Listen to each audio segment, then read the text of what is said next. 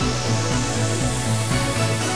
Беларусь и Россия урегулировали нефтегазовые вопросы. Об этом сегодня Александру Лукашенко доложил заместитель премьер-министра Владимир Семашко. Президент в очередной раз подчеркнул, в позиции Беларуси главное – это равные условия для всех субъектов хозяйствования. Как доложил вице-премьер, в протоколе заложена привязка к внутрироссийским ценам. Стоимость газа для нашей страны будет существенно снижена. При этом Россия восстановит объемы поставок нефти, а Беларусь уменьшит цены на транзит углеводородного сырья. Впереди у сторон работа по подготовке белорусско-российского межправительственного соглашения в связи с планируемым к 1 июля 2019 года созданием единого рынка электроэнергии в ЕАЭС.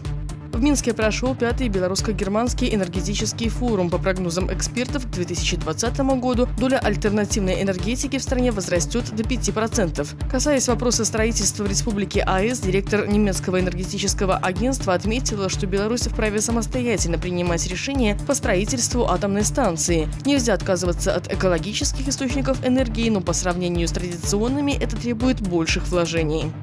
В Беларуси стартовала неделя матери. Награждения, концерты, акции и встречи пройдут по всей стране. Поддержка семей с детьми – один из основных приоритетов социальной политики государства. В прошлом году в стране родились 119 тысяч детей. Рекордный показатель за всю историю суверенной Беларуси. По данным рейтинга Save the Children, Беларусь входит в число 25 стран, благоприятных для материнства и лидирует среди стран СНГ.